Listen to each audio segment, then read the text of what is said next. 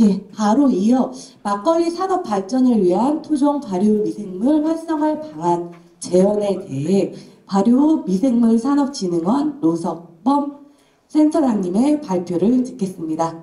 큰 박수 부탁드립니다.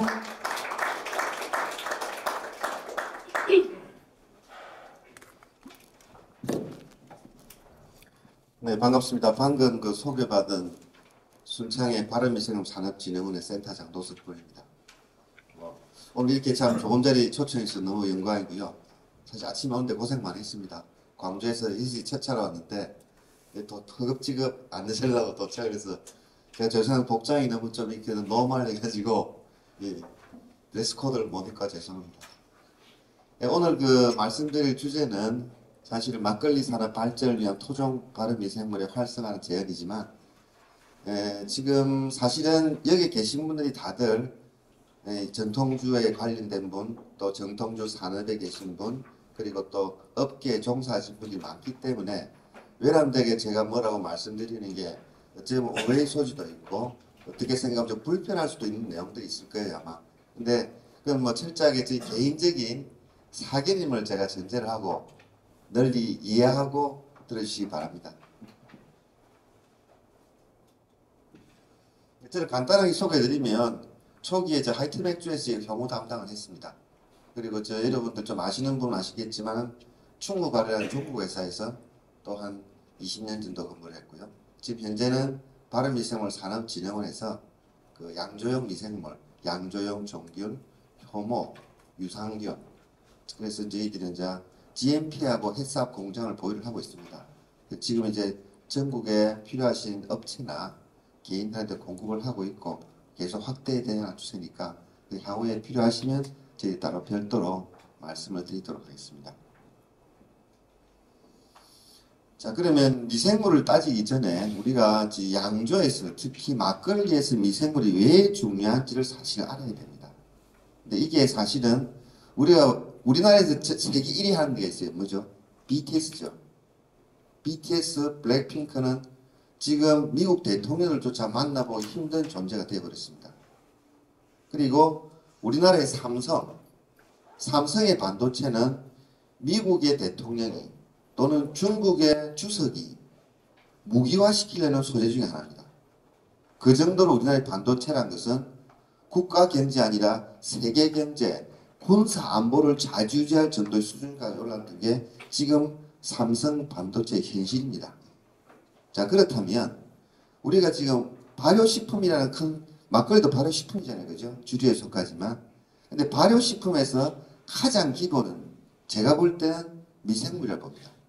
미생물을 빼고는 김치도 안 만들어지고 정장도 안 만들어지고 쉽게 말하면 막걸리도 만들 수가 없고 된장, 고추장, 간장 다 만들 수가 없습니다. 그러니까 발효식품의 반도체는 바로 미생물이란 자체는 어느 누가 물어도 이것은 변할 수 없는 원칙이자 공식입니다.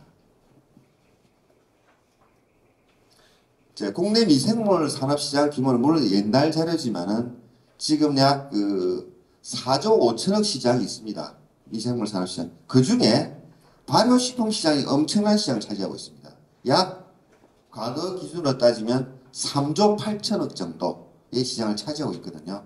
물론 지금은 많이 성장했겠죠. 그 정도로 사실은 우리가 발효식품 시장의 많은 부분들이 식품 시장을 차지하고 있다는 사실은 공지의 사실입니다. 자, 그럼 여기서 조금 들어본 분이 있을 겁니다. 나고야 의정서라는 게 있습니다. 지금은 이 단계가 의정서에서 끝나지 않고 저희 나라 법제처에서 유전 자원에 대한 보고 무슨 법으로 발효 중입니다. 아마 모르시는 분도 계실 겁니다. 이 법의 핵심은 간단하게 말씀드리면 우리 씨앗이나 우리 미생물, 우리란 것은 한국이 될 수도 있고요. 일본이 될 수도 있고 중국이 될 수도 있습니다. 우리 씨앗을 쓰는 나라에서 개발된 제품을 쓰려면 과거에서는 로얄티만 지급하면 됐습니다. 그 미생물의 로얄티. 지금은 이 법이 더욱더 조항이 강화되면서 이 미생물을 쓴 완제품, 예를 들어서 일본산 균을 써서 막걸리를 만들었다. 그러면 막걸리에 대한 매출 몇 프로를 달라는 겁니다. 일본이. 이 법의 핵심입니다. 이것이 지금 통계청 자료로 향후에 연간 국가 국익에 손해보는 양이 약 6천억 정도 손해보는 게 있습니다. 일반인들 잘 모릅니다. 왜 모르느냐? 외국이 우리나라를 대상으로 손해배상을 청구할 때는 절대로 작은 시장을 건드리지 않습니다. 시장이 성숙됐을 때, 시장이 아주 컸을 때 왕창 땡겨야죠. 그리고 개인한테 지- 제재를 가지 않습니다. 국가 대 국가입니다. 그 국가에다가 대상을 통해서 신청을 하고 그것이 증거로 밝혀질 때는 그 국가가 돈을 먼저 줘야 되고 그 돈은 개인업체 구상권을 청구하게 되어 있습니다. 그게 바로 외교 보복입니다. 근데 이것은 사실 발효된 법이고 지금은 의정선을 나와서 하고 있는 법인데 모르신다는 겁니다. 근데 토종 종균을 쓰, 토종 미생물 안 쓰고 중국 미생물 썼다. 덴마크 미생물 썼다. 프랑스 미생물 썼어가지고 제가 막걸리 빵을 만들 향후에 그분들이 조심조심 관찰하다가 땅 때려버립니다. 너희들 일본 균 가지고 막걸리 만들었지. 요즘 분리기술이 다 돼 있거든요. 검사할 수 있습니다. 그러면 너희들의 매출의 몇 퍼센트 일본 국가로 줘 이러면 줘야 됩니다. 안 그러면 모유 보복 들입니다. 그런 법입니다 이게. 자 국내 시장은 어차피 아마 농촌진흥청에 계신 분도 아시겠지만은 국립농업과학원이나 이 내용 잘 알고 계십니다. 실무에 계시니까. 자 그러면 지금 교수님이나 전문가분들 계시니까 제가 구체적인 이야기는 하지 않겠습니다. 뭐 술의 종류, 술의 분류 이렇게 쭉 돼 있는데 여기서 가장 중요한 포인트는 여러 종류의 술이 있죠. 위스키도 있고 맥주도 있고 와인도 있고 뭐 마이주도 있고 많습니다. 근데 그 중에서 우리가 막걸리라는 자체는 이것이 굉장히 중요한 내용입니다. 병행 복발유주다. 좀 아시는 분은 아시겠지만 사실은 이 병행 복발유주가 굉장히 매력이 있는 양조 공법 중에 하나입니다. 어떤 분들은 무슨 말씀까지 하시는가 외국 교수님이 병행 폭발효 공법이라는 양조에서 획기적인. 아주 왜냐하면 당화와 발효를 동시에 일어나거든요. 보통 맥주도 그렇고 과일도 그렇지만 따로따로 일어납니다. 이것이 뭐냐면 당화도 시켜야 되고 발효도 일어나는데 그게 동시에 일어나는 술은 아주 드문 술입니다. 그래서 양조공학적으로 따지면 저 첨단에 속하는 그런 기술이 사실은 막걸리 양조 기술입니다. 그 정도만 하겠습니다. 그 나머지는 여러분 따로 교수님한테 공부를 하십시오. 자, 그러면, 어, 제가 왜 그 막걸리 쪽에 미생물을 초기에 강조를 했는가면요. 지금 대부분 양조를 하시는 분이나, 뭐 일반적으로 말씀드릴게요. 안 그런 분도 계십니다.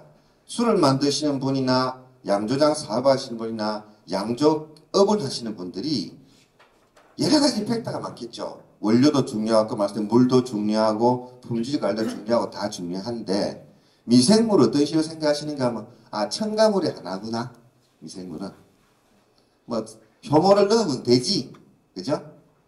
그정도 생각하시면 국을 넣으면 되지 그럼 술이 잘 될 거야 절대로 그렇게 생각하시면 막걸리는 발전이 없습니다. 왜냐? 막걸리 과정 중에 쭉 양조할 때는 모든 요소에 미생물이 다 관여를 합니다. 초기에 주모 당근부터 시작해서 1단 사이부터 시작해서 2단부터 시작해서 그 다음에 저장부터 시작해서 재생부터 시작해서 보관, 유통까지도 모든 부분들이 미생물이 관여 안 하는 부분이었습니다. 근데 그 부분을 다들 놓치고 계십니다. 그냥 첨가물이겠거니. 자, 이것은 제가 조금 뭐 그런 부분인데요. 국내 탑주업계 신실 대부분 아닙니다. 제가 어느 특정인을 말씀드린 아닌데 현재 아마 양조업을 좀 하실 분들은 요 제품 아실 겁니다. 엘모사의 제품 프랑스 빵효모입니다. 샤프 프랑스 빵효모입니다. 이 제품 어, 히구치 모야시는 회사 제품입니다. 일본에서 소주 만들 때 쓰는 곰팡이 종구입니다. 그리고 심지어는 dry yeast 쓰고 있고요. 스타 이스트를 쓰고 있고요. 그리고 Fermivin이라는 와인용 효모를 현재 막걸리업계에서 제가 느낌으로는 한 90% 이상의 업체가 다 이걸 쓰고 계십니다. 요즘 들어서는 중국산 빵효모를 쓰고 계신 분도 제가 많이 봤습니다. 왜 민감하다는 게 뭐냐면 그 부분을 납품하는 분들이 계시거든요. 자, 이것이 사실의 탑주업계의 현실입니다. 그런데 이 빵용어를 쓰시게 되면요. 저는 표현을 말씀드릴게요. 막걸리가 빵점짜리 됩니다. 왜냐하면 빵용어의 특징은 초기에 탄산이 확 나왔다 알코올이 나왔다가 탁 죽어버리거든요. 그러면 맛이 어떤 맛인가 하면 그 빵이란 것은 효모가 죽은 거 아닙니까? 그죠? 베이킹 하다 보면 열로 딱 치면 효모에 죽은 효모치가 구수하게 나는 게 원래 빵입니다. 막걸리가 빵 맛이 납니다. 그래서 제가 빵점 막걸리가 되시려면은 빵으로 쓰시면 아주 좋다라고 추천을 드린 겁니다. 자, 이건 보도자료입니다. 지금 현재는 더 늘었습니다. 이게 2000몇 년도 자료인데 2015년 자료죠. 1100억이 아니라 지금 한 5천억 정도의 규모를 사서 쓰고 있습니다, 현재. 제 말이 아니라 통계청과 언론 보도자료입니다. 혹시 이 영화 보신 분 계십니까? 이 영화. 여기 송가호란 유명한 배우죠. 이 사람은 뭐 잘생긴 이 정우성 이분이 뭐 굉장히 유명한 배우신데 놈놈놈이라는 영화가 있습니다. 좋은 놈, 나쁜 놈, 이상한 놈. 근데 사실 제가 알아보니까 이 영화가 원래 60년대에 나왔던 우리나라 말로 말하면 황야의 무법자라는 영화를 그대로 오마주한 제품입니다. 그러니까 이것이 보면 The Good이라는 게 어, 이분이 그 클린트 이스트라는 배우 아시죠? 그분이 좋은 놈으로 나옵니다. The Good으로 나오고 그 다음에 이분이 누군가 하면 또 옛날에 서부 가신 분들은 리 반 클리프라는 악당 전문 배우 이분이 나쁜 놈으로 나오고 이분은 제 잘못이 하여튼 이분이 이상한 놈으로 나옵니다.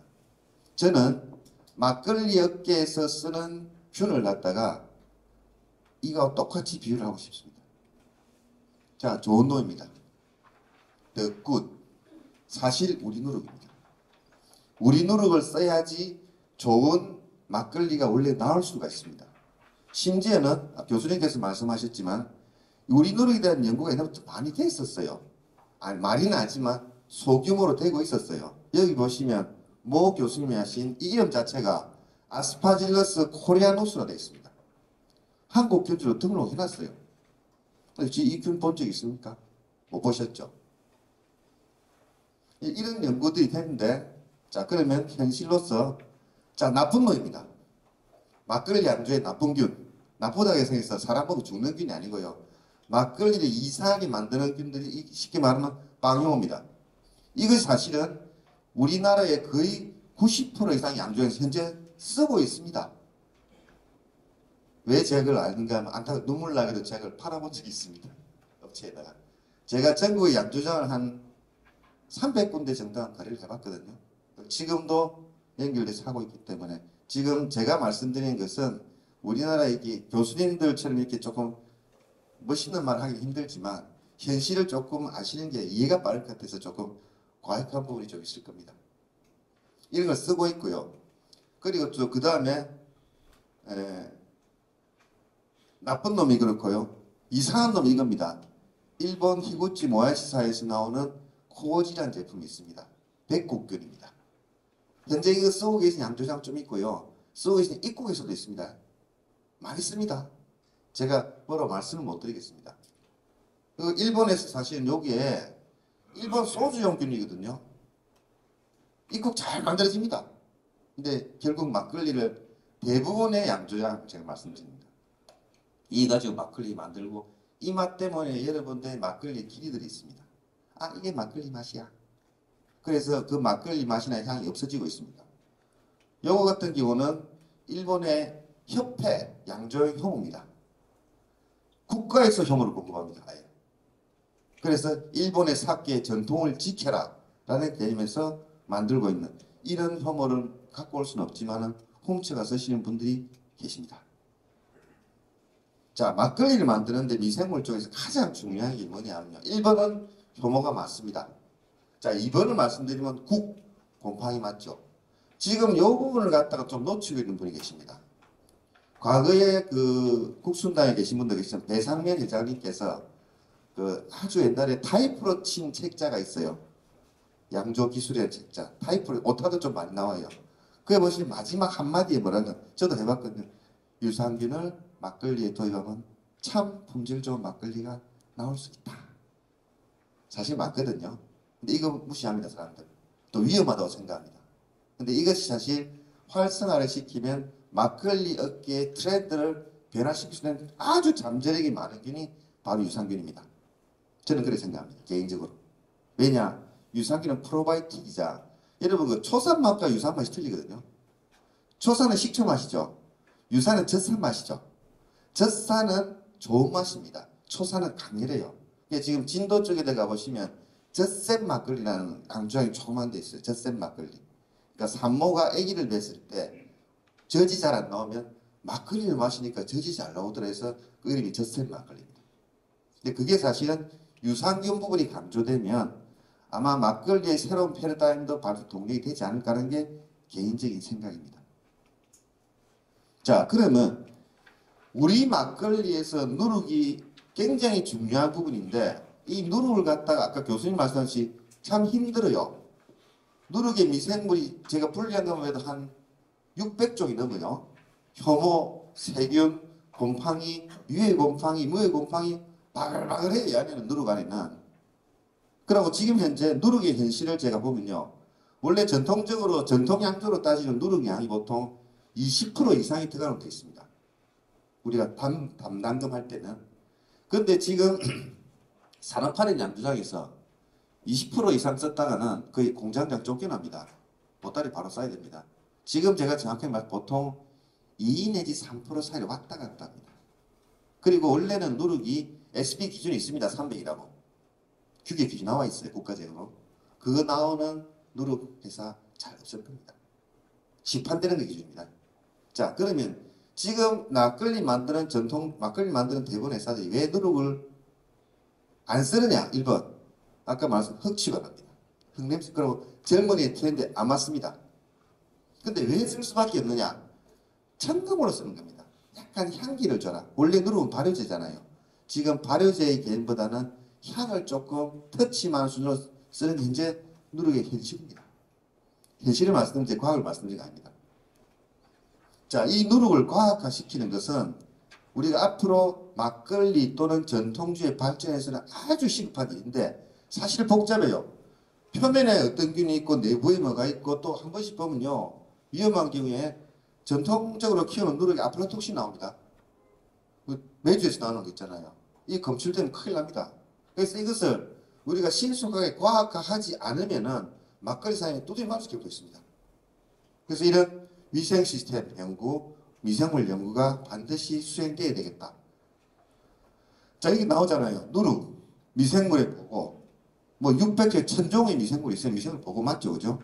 그리고 이것은 효소를 갖는 곰팡이를 번식시킨 것으로서, 근데 여기 보시면 무슨 말씀이 나오는가 하면, 자, 주로 안 나오죠. 지금 막걸리 업계 한국균 쓰는데 거의 없죠. 다 백국균 쓰죠. 일본 백국균을 쓰죠, 그죠? 근데 사실 미생물 분석을 해보면요. 그 당시에 그 부산에 보면 신라대학교의 막걸리 세거 연구소라는 데가 있습니다. 그 교수님 연구를 해보니 우리나라에서 가장 좋다고 역사 알려진 동네 산성 누룩을 대상으로 2년간 연구과정을 수행하면서 얻었던 결론. 우리 전통 누룩에는 엄청나게 많은 유산균이 있더라. 그리고 두 번째, 백곡균보다 황곡균이 엄청나게 많더라. 우리 트렌드인데 우리는 지금 전혀 반대 방향으로 가고 있어요. 지금 현대적인 대규모 양조장들은. 황국을 쓰면 절대 안 된다더라. 일반적이에요. 그 다음에 유산균이 오염되면 술 다 버린다더라. 이런 분도 계십니다. 어떻게 생각하면 나쁜 지식을 이상하게 배우신 거예요. 그래서 뭐 신내난다고 술 썩는다고 전혀 아닙니다. 국수들이 아시, 아시지 않습니까? 유산균을 써야지 향기 좋은, 맛 좋은 막걸리 나올 수밖에 없는 논리입니다. 자, 이것이 보면 과거 연구에 우리 전통 노래에서 분리한 미생물 종류가 이 정도로 많습니다. 이게 전부 효모입니다. 이게 전부 곰팡이 종류입니다. 이 연구를 하셨어요. 근데 그분이 아마 돌아가셨을 거예요. 돈이 없어서. 그랬을 것 같아요. 자, 그러면 해외를 한번 봅시다. 어, 이분은 제가 만났을 분인데, 오사마 야마다라는 분이 있어요. 자, 일본의, 이 일본 경우입니다. 제가 여러 나라는 많지만 제일 가까운 나라로만 일본하고 딱 한 군데 말씀을 드리겠습니다. 해외 양조미생물 연구원 일본 현황은 일본에 본 주류 총합 연구소랑 독립행정법인이 있습니다. 시까지 국가 관할입니다. 이것은. 자 여기 가보시면 일전 정시장 있잖아요. 150년 전에 균주를 가지고 있습니다. 그걸 전- 딱 전시했어요. 근데 이 균이 어떤 균이냐? 황국균입니다. 이 황국균을 가지고 1800 몇 년도, 1800년도면 고종황제 있을 때 아닙니까? 그 당시에 네이처지라는 잡지에 실립니다. 황국균이. 그리고 이 친구들이 뭐라고 하느냐면 이 균은 일본 구한균이다. 우리는 황국할 때 국자를 누룩 국자를 쓰죠. 얘들은 나라 국자를 씁니다. 그래서 영어로 말하면 national fung이랍니다. national fung가예요. 왜? 이 균을 하나 발견하면서 개발함으로 인해서 일본의 사케 산업, 일본의 간장 산업, 기꼬만 간장부터 아지노모토까지가 엄청나게 세계 시장을 석권했거든요. 그래서 일본 GDP에 이 균 하나로서 1%를 차지했다고 합니다. 이균한 마리가. 별까지 균 한 마리. 그것도 100년 전에 발견된 균을 가지고. 그래서 지금 이, 이- 이 실험실에 가보시면 이런 미생물 곰팡이를 계속 분리 동정하고 있어요. 지금도 개발했고 매년도 발표도 여기 보시면 이 친구가 사실 총각인데 나이 많아요. 이런 식으로 연구소에서 효모를 종류별로 내요. 요것은 바나나 향, 요거는 상쾌한 향, 사이다 향뭐 해가지고 쭉 내요. 내가지고 양조장에다 다 보급을 합니다. 그래서 양조장마다 특색이 있는 청주를 만들기 위한 모든 정보나 균지 제공을 이 독립행정법에서 진행하고 있습니다. 여기서 박사급 연구자가요, 400명이 넘어요. 우리나라 잽도 안 되죠, 지금. 그것도 다른 연구가 아니라 술 연구만 합니다. 술만 합니다. 오로지 미생물을 하면서. 그러면 1년에 나중 되면 뭐, 낙하, 낙하산 총리가 와요, 이 연구소로. 일본 전역에 있는 사케를 갖다가 수백 종류를 다 분석해가지고 그 중에 지금 말하면 이 지방을 뽑아서 총리가 직접 트로피를 수여하면은 큰 깃발을 가지고 그 양쪽 전국 광고를 다칩니다. 올해 최고의 사케, 총리가 추천한 사케라고 해서 또 판매망을 전 세계 판매를 또 합니다. 이런 식으로. 그게 돼 있는 게 이놈들의 시스템입니다.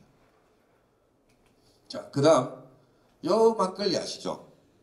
우리 옛날에 그 영화 보면은 도라 도라 도라 작전이라는 연합 2차 대전 작전 있잖아요.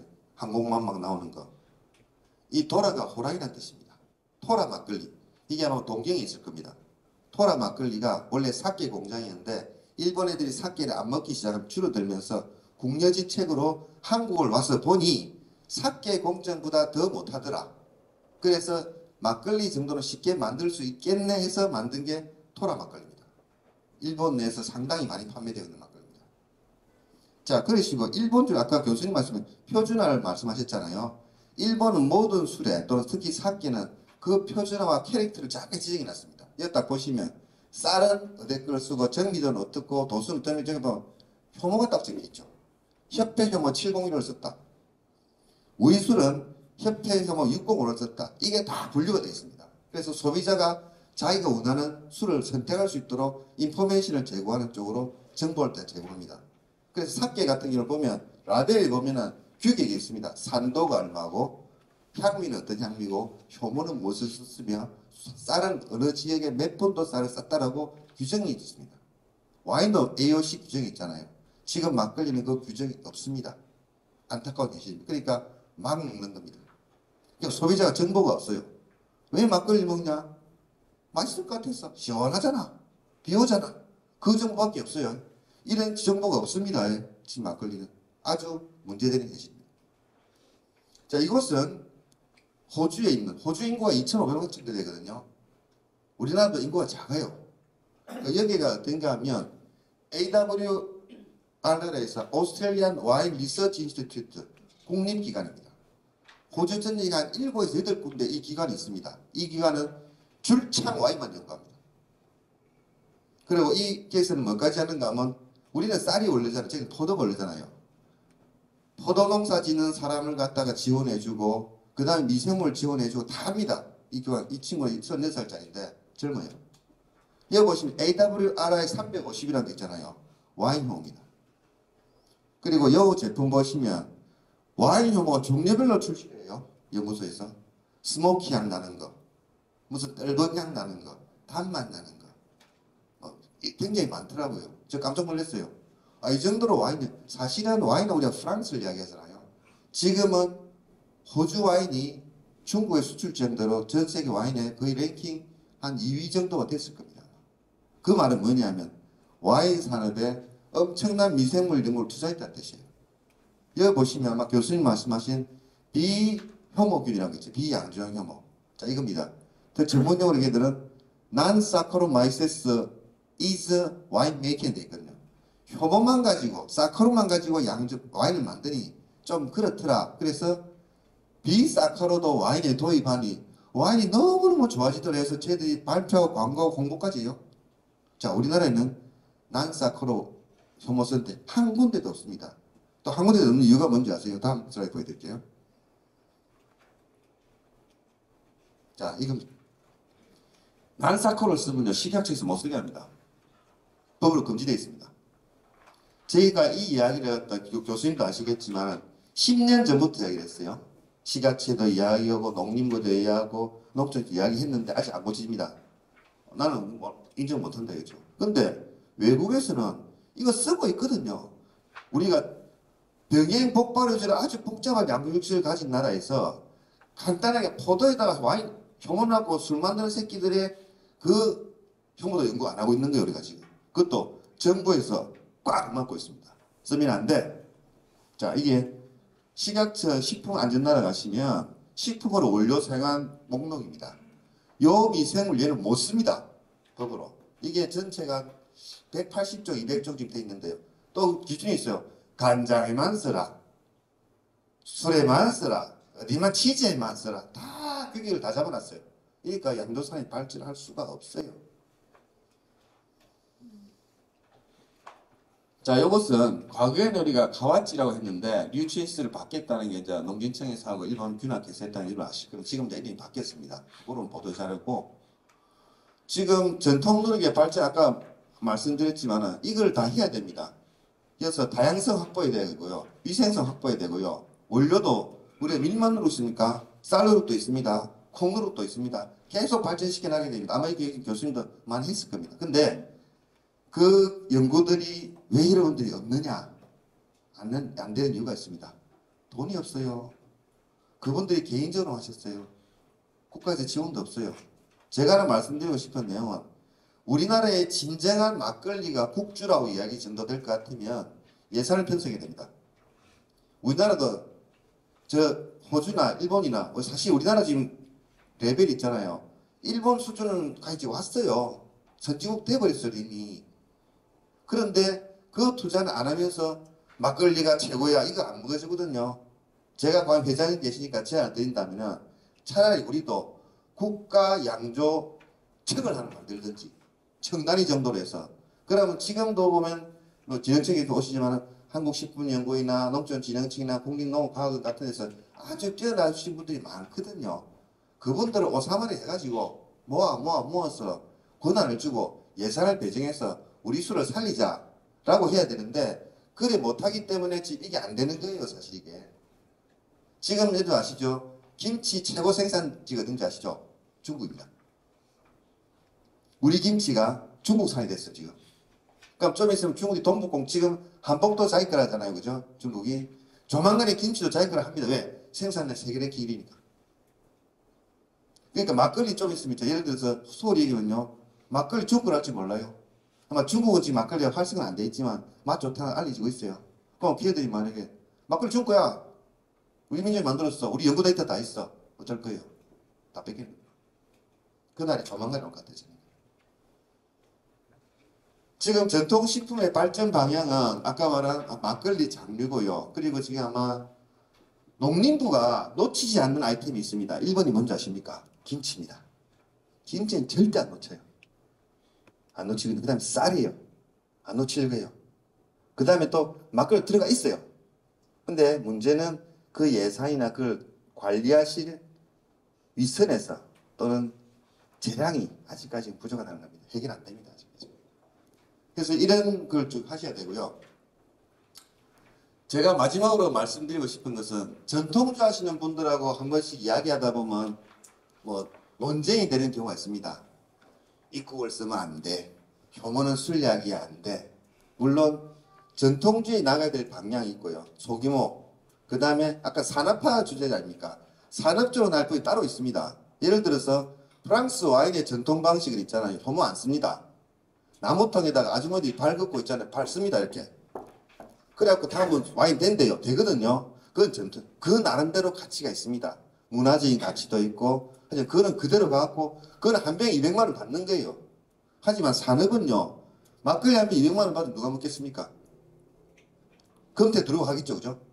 그렇다면은 막걸리를 갖다가 누룩만 가지고 만들고 애끝이 따지는 순간에 쉽게 말해 MZ세대 뭐냐면 꼰대 소리 듣습니다. 그러니까 이 온구짓이라는 말은 옛날 것만 답습하면 오히려 퇴화됩니다. 옛날 것은 지키되 더욱더 발전을 색을 만들어야지 막걸리 산이 발전이 됩니다. 그래서 저는 왜냐면 오히려 와인을 배우시고 쪽팔리지만 사케도 좀 배우시고 위스키도 배우시고 다 배워서 그놈의 우리가 잘된가 잘못된지 현실적인 부분을 하나 뜯어붙여 나가면 막걸리가 체계화될 것 같아요. 그래, 그러면 실제로 우리 막걸리가 조금 더 진행이 될 것 같고요. 그래서 지금 저희들이 미약하나마 저희 센터 진흥원에서 준비하고 있는 게 지금 황국을 갖다가 양조에 도입하려고 제품까지 시제품도 만들었습니다. 황국도 생산을 했고 지금 최근 들어서는 홍국 아실 겁니다 아마. 양조형 홍국도 해서 지금 여러 가지 분석을 통해서 빨간색 마크를 체계화시킬 작업을 미생물학 차원에서 준비를 하고 있고요. 그리고 이제 그것이 모두 다 혼합된 상태 스마트 누룩도 어느 정도 해보려고 저희들이 기획을 하고 있으니까 아마 여러분들 많이 도와주시면 그 양조 발전에서 미생물 부분이 사실은 빠지게 되면은 어찌 보면 영혼이 없는 막걸리가 될 수 있다는 것을 한번 느끼시면 좋겠습니다. 이걸로 마치겠습니다. 감사합니다.